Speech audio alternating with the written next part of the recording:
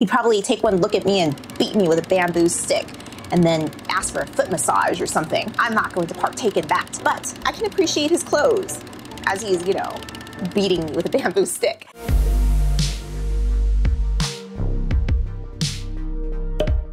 Friends, and welcome to my chaotic corner of the internet where we sit down, caffeinate, and chat about fashion history and other things. Mostly other things. Today's style is an aesthetic that I have been enamored with ever since I was a little child. And once you know what that aesthetic is, you will think that's a very strange thing for a little child to be enamored with. Then again, I was a very strange child. So without further ado, because we have a lot of ground to cover, we have a lot of tangents to hop on, and we have a lot of rabbit holes to dive into. I present to you Adventure Style.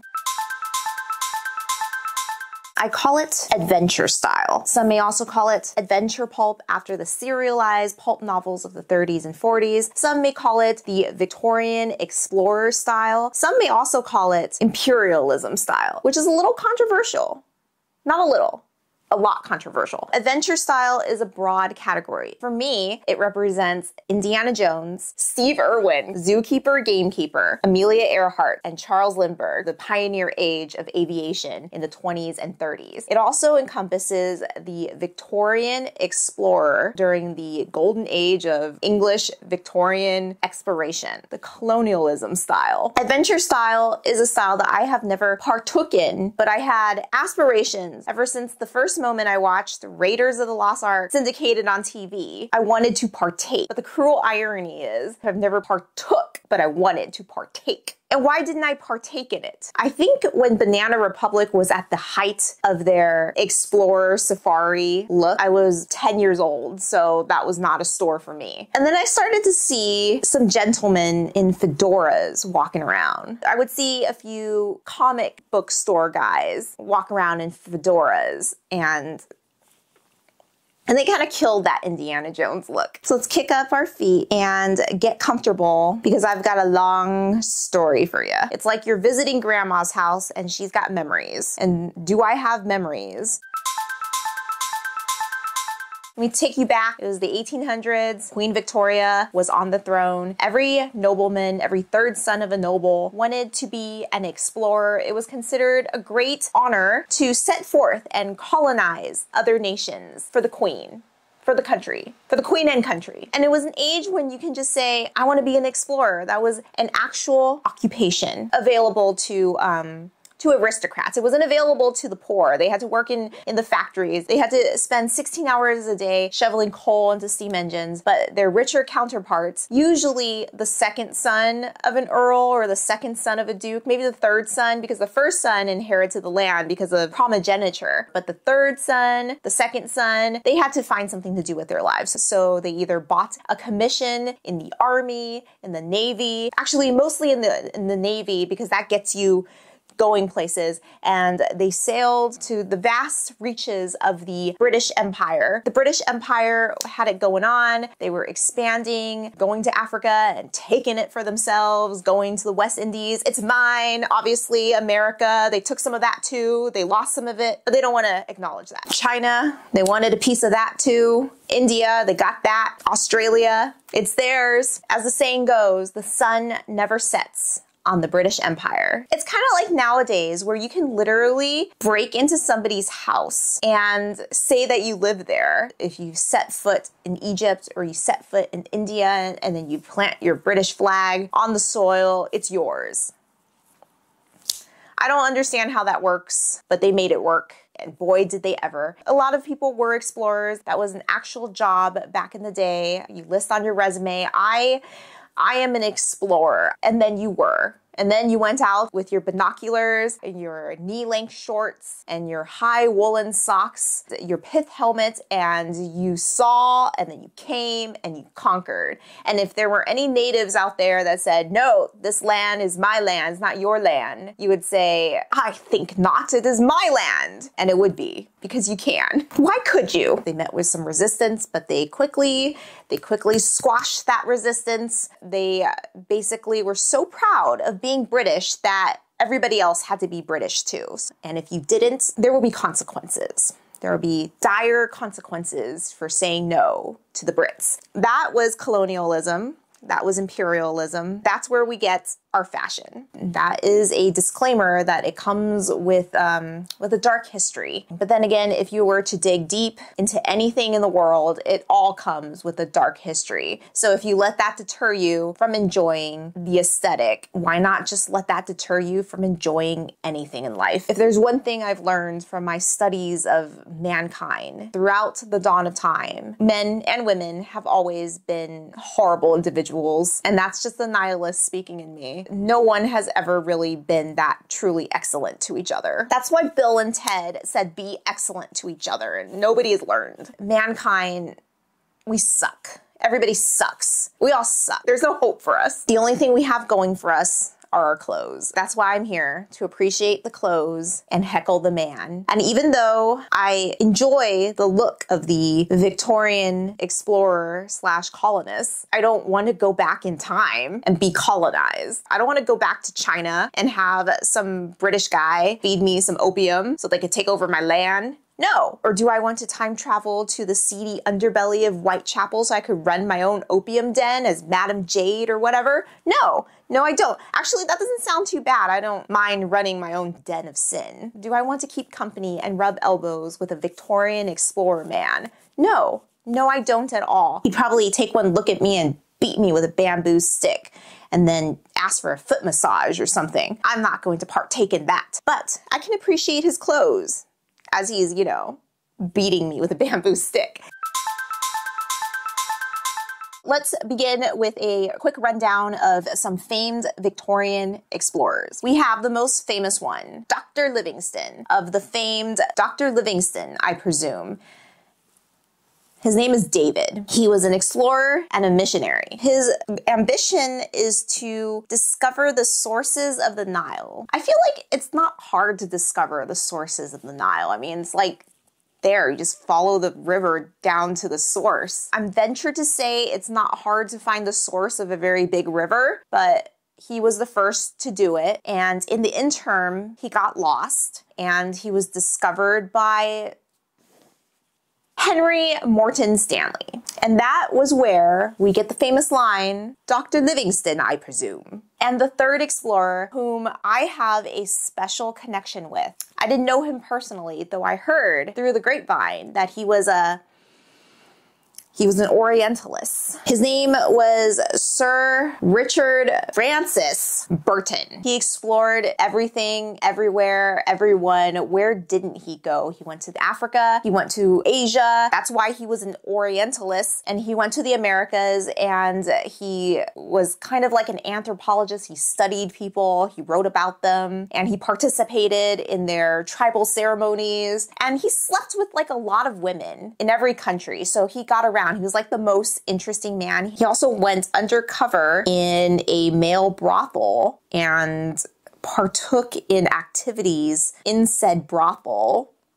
He came close to being discovered one night when he lifted his robe to urinate. He had like one hell of a Victorian mustache. It was bushy, like Tom Selleck esque. The reason why I have a special connection to him was because the first romance novel I've ever read at the age of 13 was called The Duchess by Jude Deveraux. The hero in this romance novel was not so secretly based off Sir Richard Francis Burton. He was like 33 and he was suffering from malaria. As a 13 year old, I was, I was horrified that the heroine, a 19 year old American heiress from the Gilded Age, would ever consider a romance with a 33 year old man with a mustache. He was a prolific writer. He spoke like 25 languages. He had a life of adventure and daring. I think he was in the Navy. Yeah, I think you had to be in the Navy to get around, okay? He was in the Navy. He had like a commission. He was the second son of a duke. He was a learned man. He was an adventurer. He he had like all these knife scars all over his body. He had like a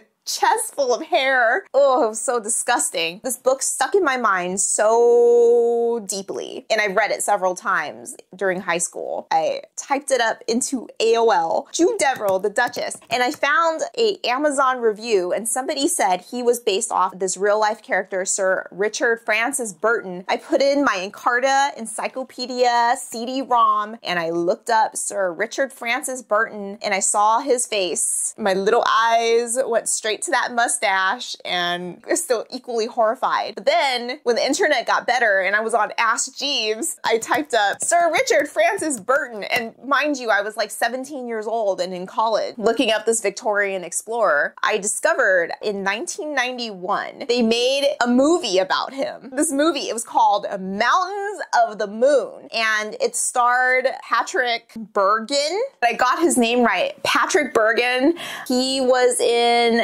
Sleeping with the Enemy with Julia Roberts. He was the enemy. He was her abusive husband. In this movie, he played Sir Richard Francis Burton, the explorer, and Lord Friendzone Iain Glen played his friend turned adversary, John Hanning Speke. What was Lord Friendzone's name in Game of Thrones? Somebody, tell me right now. Ser Jorah. He played Ser Jorah, Lord Friendzone in Game of Thrones.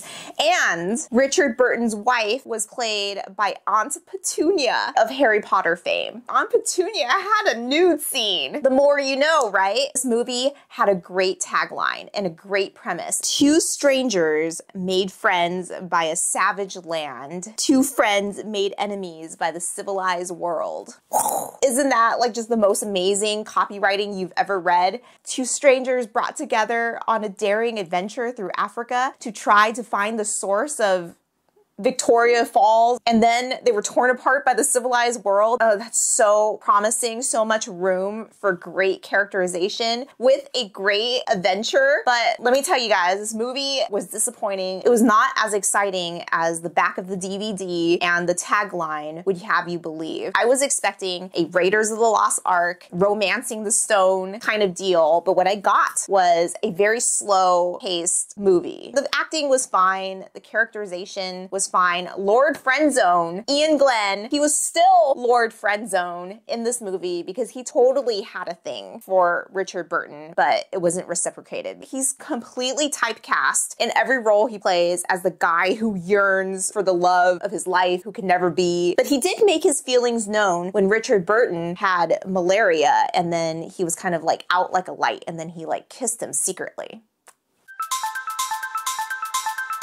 This is the basic building blocks of the adventure style wardrobe. It's founded on function and utility. I think function and utility means the same thing. Comfort and utility. It's a very classic style, but you can go overboard. The blueprints of these outfits are very military inspired. We're talking pilots, the Air Force. We don't have very tight clothing. You don't want spandex. There's no spandex. There's no skinny jeans. For women's wear, your pants are loose looser, ranging anywhere from wide-legged palazzo pants, it's my favorite word, palazzo pants, to maybe a straight trouser, but in any event, we don't want clingy fabrics. And speaking of fabrics, we want natural fabrics, cotton, linen. Linen is huge because if you're adventuring in Cairo, you want breathable fabric, and linen is one of the most breathable fabrics on earth. And cotton twill, not just cotton, cotton twill. It's a sturdier weave. It's kind of like the same material material that you would have if you were Rosie the Riveter in your panic jumpsuit. If you were in any way, shape, or form wearing the 2011 Millennial Minimalist wardrobe, then you would have probably owned a military jacket, a, a light military jacket, and a striped shirt, and you would wear it together with your skinny jeans and your ankle boots. That's the 2011 millennial look. That's probably the material that your jacket was made of, not just cotton, not the cotton of your shirts, but cotton twill. It's sturdier so that you can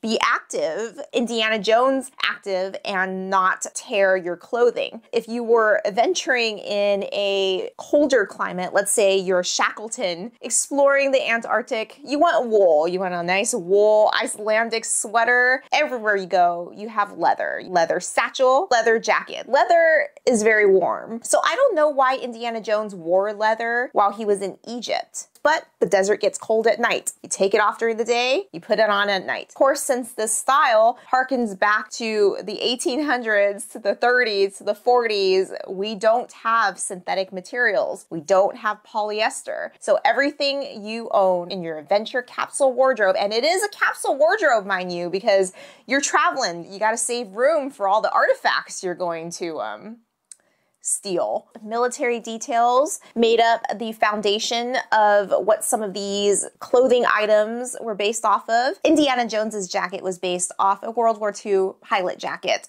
So get yourself one of those. Get yourself a bomber jacket to complete this wardrobe. Utility is the name of the game. We want everything to be functional. We want everything to be rugged. We want leather. We want a sturdy canvas. Extra points if you have a bag made out of sailing canvas. Wouldn't that be something? Olives, browns, ivory, very subdued earth tones. Khaki, the khaki shirt. You want a nice khaki camp shirt with those two pockets right here. You want to look like Steve Irwin. You want to bring forth that Muldoon vibe from Jurassic Park. You are a zookeeper. You are a game hunter. You're out there on that safari, khaki head to toe, back in the Victorian ages. You will see those uh, lieutenants, those viceroys. They would come to the jungles and then they would wear khaki, head to toe khaki, and shorts. And as I said before, none of your clothing items were tight. And if you would notice, those officers wore very big, baggy shorts. These are basically the 90s boy shorts. I take that back because 90s boy shorts went down a lot farther. They went down like mid calf, but these cut off right at the knees. And then you would have the high wool socks to, to keep your calves firm. I think they're compression socks in many ways. You would wear a nice boot, maybe a Clarks Desert boot. I own a Clarks Desert boot, not by Clarks, but by Franco Sarto. They're not that comfortable, but they are stylish. If you were a British officer in the Victorian age, you would have a pith helmet to keep the sun away from your fair British skin. Obviously, you want some sunglasses, you're out adventuring, so a nice pair of aviators would do perfectly. But you know what would look awesome with this outfit? If you had those motorcycle sunglasses with the side shield, very steampunkian, and with your sunglasses and your khaki camp shirt, a colorful tie, maybe like mustard yellow. That's a look. That's kind of like a director look. I'm actually painting a picture of a 70s director here. Let me guide you into the world of men's adventure shorts. We have Ray Fiennes, or is it Rafe Fiennes, from The English Patient he spent most of this movie in shorts. Okay, so The English Patient, one of my favorite movies, but my husband's most hated movie. He thinks it's incredibly boring, but I'm here for the clothes. Remember that episode of Seinfeld where Elaine, she hates The English Patient, but J. Peterman and I, we love The English Patient. It checks off every single box of the adventure style. Ray Fiennes billowy white shirt, billowy blue shirt with baggy breathable shorts and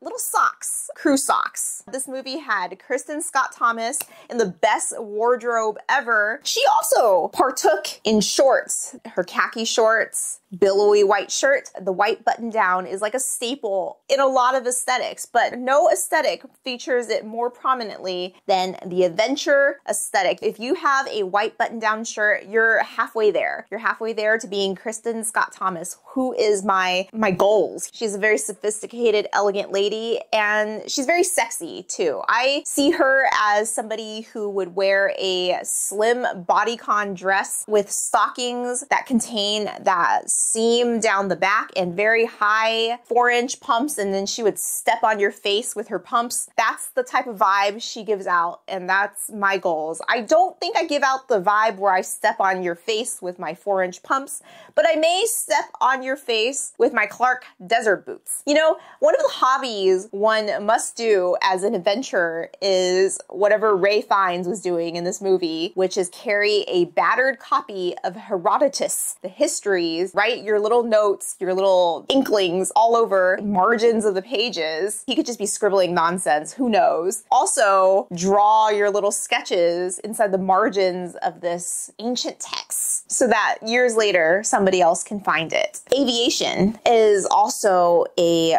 huge part of this aesthetic. If you are not a private pilot, then then I don't know what to tell you. Get out of the room. Because Amelia Earhart was quite the fashion icon of her day and today. She's very tall, she's very statuesque. She actually really looks like Cate Blanchett, who I think played her in a movie. I didn't see this movie. During her time, she had her own fashion line. And what wouldn't I give to get my hands on Amelia's clothes, Amelia's labels? The lady aviatrix. She's got the leather jackets, the crisp button down white shirt. She's got the loose fitting trousers but are also tailored to her body. And she's got the pilot hat, the pilot hat with the ear flaps. You can wear one of those. You don't have to be a pilot. People might wonder about you, but it sure beats wearing a fedora nowadays, doesn't it? Grandma Teresa would like to recollect about the programs she watched back in the days where things were a little quieter and she was a lot younger. Her recollections of the adventure style. Between 2001 2002, there was a Vogue photo shoot of Keira Knightley during her Bend It Like Beckham period. She hasn't played Lizzie Bennet in Pride and Prejudice 2005 yet. It was like a safari adventure style photo shoot. I am not even looking at these images right now because they were so ingrained in my mind. I love this photo shoot so much. I ripped the pages out from Vogue and I, I put in my scrapbook.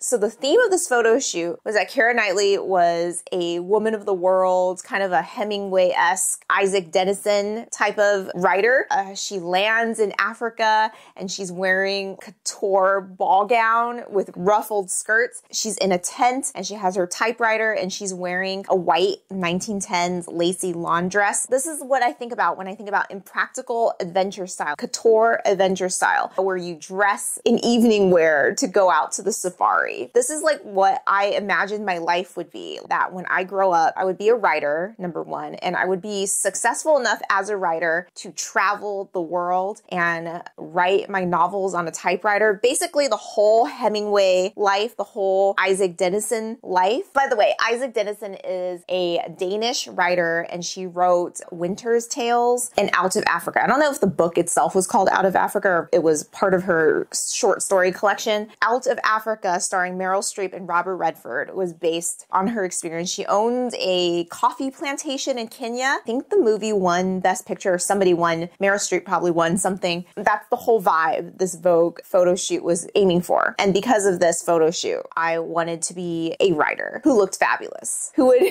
who would travel around with her typewriter. So that's why I have this typewriter. Did become a writer. So I figure I'd be selling my short stories to the New Yorker, to Esquire, what have you, wherever they take short stories, and I would get like $50,000 per short story, but uh, obviously that's that's not true. Maybe they did pay writers a lot more back in the 20s or 30s in relation to the standard of living. Maybe it didn't cost that much to live better back then, but Hemingway sure lived well. Hemingway was kind of like an influencer. Did I become a successful literary novelist? Did I win a Pulitzer Prize? No, I didn't. No, I didn't. Let's talk about Jurassic Park. Now we're going into gamekeeper, game hunter, zookeeper territory. We can talk about Dr. Alan Grant and his blue camp shirt and his little red scarf. We can talk about how the Goldblum was kind of dressed inappropriately because he was kind of dressed in all black again. He was just hot. It was unbreathable. I think he had a leather jacket. He's hot in a variety of ways. But he was mostly hot because he wasn't dressed for the setting for the Costa Rican climate. And that's why he had to unbutton his shirt and get into the iconic lounge position, as you see in the meme, because of the lack of breathability. Let's talk about the lawyer. He's the lawyer who got eaten by the T Rex. He adopted the um, British officer, the British colonist way of dressing, where you are still at work, you're still performing your duties, but it's hot, so you wear shorts. So he's still a lawyer. He's still got his suit and tie, but he's got his shorts on and his little socks. Then we have Muldoon, the game hunter, Muldoon, whom I thought his name was Mo Digley. I heard somebody call him Mo Digley in the movie, and it stuck, and forever and always he would be called Mo Digley until somebody informed me that his name was Muldoon. So now I feel like a total bonehead. He's got the full zookeeper outfit, the full Australian, I want to say drover outfit, but what do I know what drovers wear? He's got his shorts. I hope he has a license for those shorts because they are pretty short and I hope he sits like a proper gentleman. I hope he's got his situation under control because there's children on this island and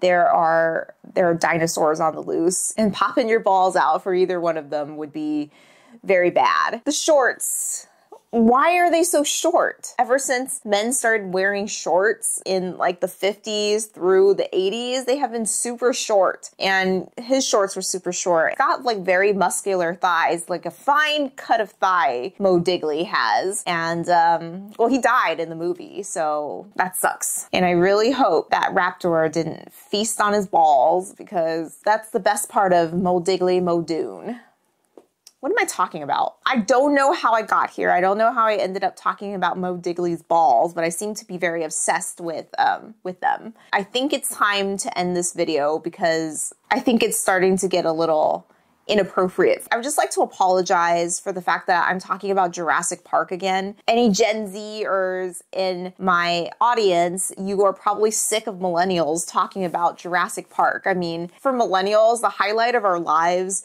was Jurassic Park. All we ever do is talk about how great Jurassic Park is and how great Pulp Fiction is. Some elder millennials like me will talk about how great Raiders of the Lost Ark is, and you probably have no idea what we're talking about. And you probably have never even seen Jurassic Park. That's probably what your parents watch or something. So I apologize in advance to the youngins if you're sick to death of Jurassic Park, but you certainly have never heard anybody talk about Mo Digley's balls. I hope that illuminated your life in some way. I'm here to be of service. So that's it. That's it for me. Somebody please get a hook and drag me out of here. So if you like this video, please smash that like button. It will really help me with the algorithm. Leave me a comment down below. Leave me an emoji of shorts if you've made it this far and let me know what you think about the adventure style. Are you at all bothered by its storied past or do you not care? Do you think millennials talk too much about Jurassic Park?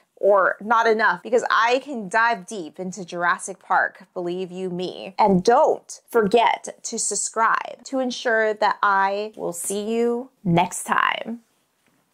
Goodbye.